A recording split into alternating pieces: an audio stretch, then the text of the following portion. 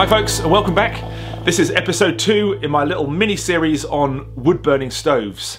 I'm going to be making three different stoves. Each one is going to have its own episode, um, and I'm going to be using recycled materials. If you saw the last video, you'll have seen me make this one here out of a Faxe beer can.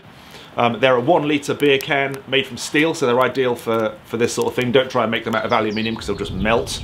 Um, I've used this and um, I thought I'd give you a little bit of feedback on it before I start on the next stove. Um, it's too tall, that's the main issue. It's not as stable as I would like, although it didn't fall over, you know, you can tell it's tall and thin. It's, it's you know, it's not going to be as stable as something that is has a wider stance. Um, and I found that with the fire in that firebox there, I had to have the fire really hot to get that heat up to the top there. If it was lower, it would have been much more efficient. So in hindsight, if I was going to do that again, I would probably reduce it by at least a third. Um, you wouldn't have that rim around the top to give it strength, but I think it would still be strong enough. I also found that putting the pot directly on top of the stove like this, rather than on the trivet that I made, um, works just as well. The flames lick out of those holes and it, and it heated up the water fine. Um, so if I was doing it again, I probably wouldn't bother with the trivet either. But anyway, onto this week's stove. It's also going to be cylindrical. It's going to be much wider.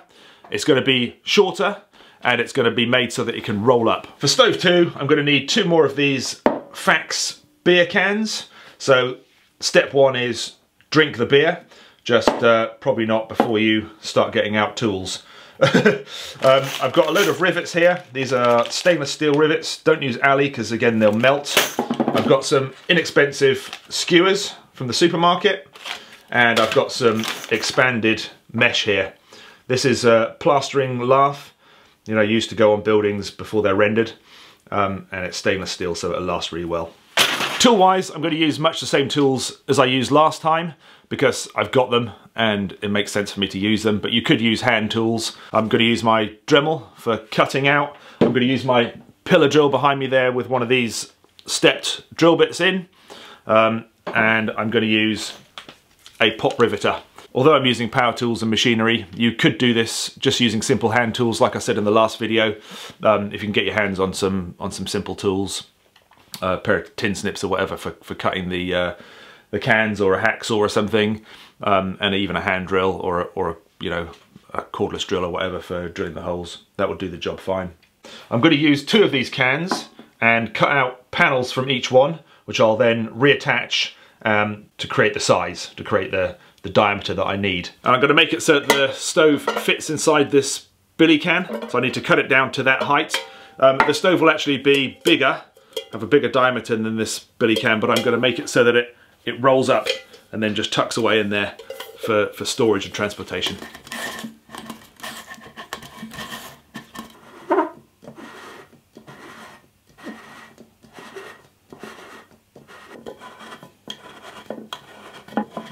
Holes are marked out and ready to drill for the big holes.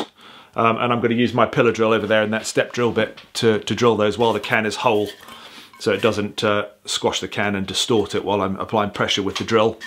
Um, I've also marked out the, the feed hole. Um, there's going to be an opening uh, on one side of this stove so that you can feed wood in without having to take your pot off the top. Um, you can just poke your sticks through that little hole there. Um, there are going to be some more holes I'll need to drill later, some smaller ones um, but I'm not sure exactly where they're going to go yet. I need to get these drilled and cut out and partially assembled to see where I need to, where I need to drill those holes, um, but that will become clear a little bit later on.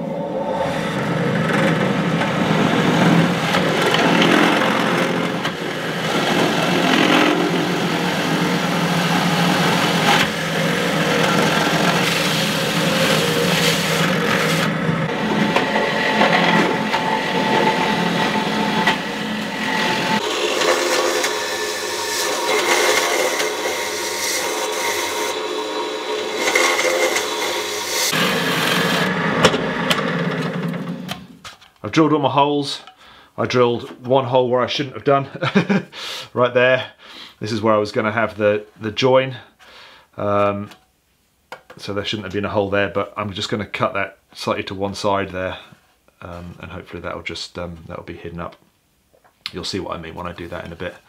So uh, that is done. I'm going to now cut the top off, cut it along the bottom here. Um, I'm going to use a can opener to do that. I've got one of those can openers that cuts the side. So that'll be the neatest way of doing that. This one up here I'll have to just cut with my Dremel really carefully along that line. And then I'll cut it along there and along here. And then those two pieces, when they're opened up, will come together and form a bigger, a bigger cylinder.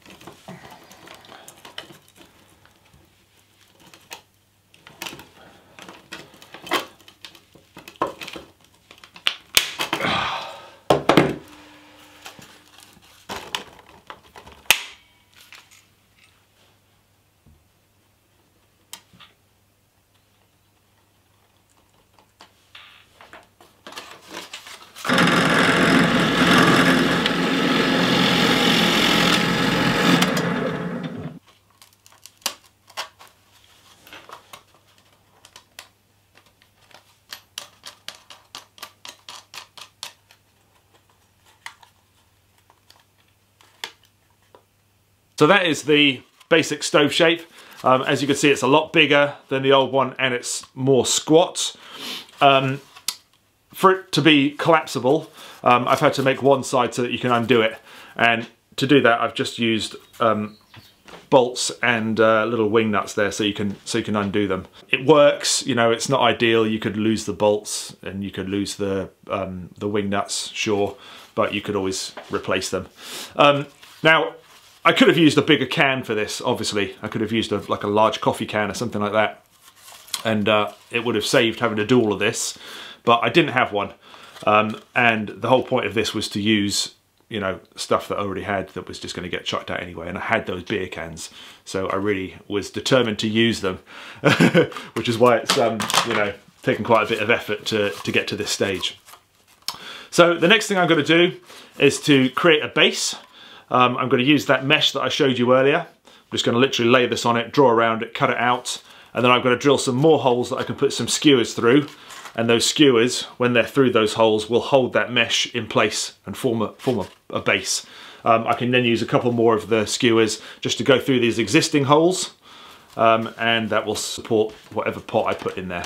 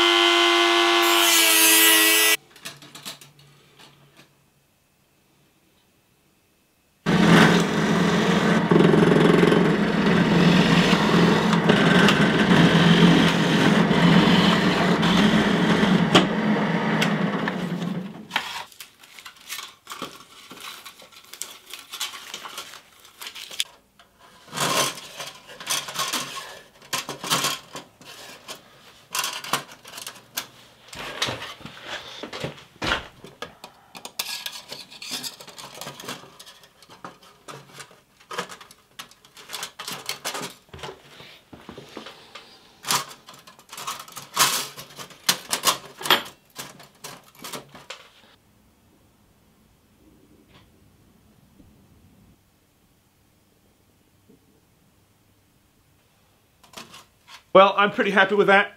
I mean, it's not going to win any awards for aesthetics, that's for sure. It is crude, but then again, it's only made from a couple of beer cans, so I wasn't really expecting too much. It should work though, it should work pretty well. Uh, it's got a good opening here for feeding wood in. Um, it's got loads of holes, so there should be plenty of airflow. There's holes all around, all the way around the bottom there, so air can get underneath, and then that mesh will allow the air to come underneath the fire and allow it to burn well. Um, I've got a couple more skewers here, and you can literally just poke them through whichever holes you want in the top there, and um, that will act as a pot support for your uh, for your cooking pot in the top, no matter what size pot you've got. You know, you can just have them closer together and you know, it will take a smaller pot on the top there. I'm not going to be able to test this out right now because it's pitch black outside. It's evening now. Um, but I'm going on a, a, canoe trip tomorrow with, with Ginge. Really looking forward to it. Um, and I think I'm going to take this with me. And uh, whether I use it as my main stove, I have got another stove which I've already packed, but I think I'm going to take this and at least give it a burn in. Um, and what I'll do is I'll I'll do a little bit of uh, wizardry and teleport that back to the end of this video. Um, and then you'll be able to see it, uh, you know, burnt, burnt in. Um, it's obviously got all the paint and everything on it. I'm, I'm never too fussed about that. That all comes off in the first burn. So there you go. That is stove number two. Uh, a bit safer to use, I'm sure, because it's squatter. It's packable. You know, it rolls up and fits in my billy can, and it weighs nothing. I haven't got my scales out here, but I mean, there's nothing to it. It's just a couple of old beer cans and a bit of mesh. Yeah, amazing what you can make out of a load of old rubbish. um, I will get around to my third and final uh, stove video in a few weeks time. Uh, bear with me on that one, I've got some other bits and pieces I need to do in the meantime. Um, but I'm quite excited about that. It's something I've been wanting to do for a long time um, and something quite different to these last two stove videos, so look out for that video then. Thanks for watching and I'll see you soon.